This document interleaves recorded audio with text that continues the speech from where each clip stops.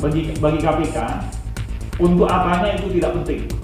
Tapi yang penting adalah bahwa penyelenggara negara menerima janji hadiah baik barang maupun uang untuk berbuat atau tidak berbuat yang melanggar hukum itu adalah eh, adalah tidak tidak korupsi suap. Apakah untuk kepentingan apa? Kami belum mendalami. Mungkin nanti eh, info dari Pak Karyoko lebih eh, bisa lebih mendalam. Ketiga, Kepala BNPB termasuk juga pertanyaannya kepada anggota Komisi 8 ya, DPR RI tentu semuanya masih dalam proses ya. Kami masih menangani apa yang oleh KPK ditangkap.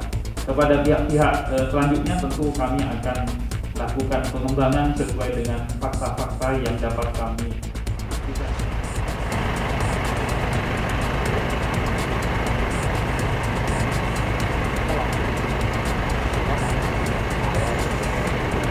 Bu, ada yang mau disampaikan, Bu?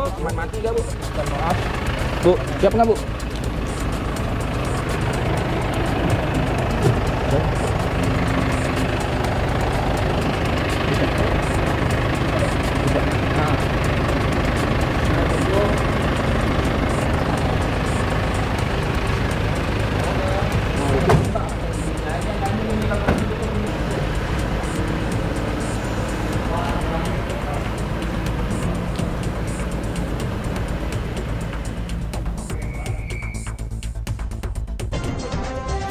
Elshinta News and Talk